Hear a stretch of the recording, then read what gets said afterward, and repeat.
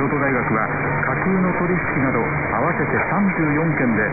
総額5億円余りの研究費の不正支出があったとあったことを公表し今後懲戒処分を行う方針を明らかにしました。京都大学は今日記者会見を開き京都大学霊長類研究所の元所長の松沢哲郎特別教授と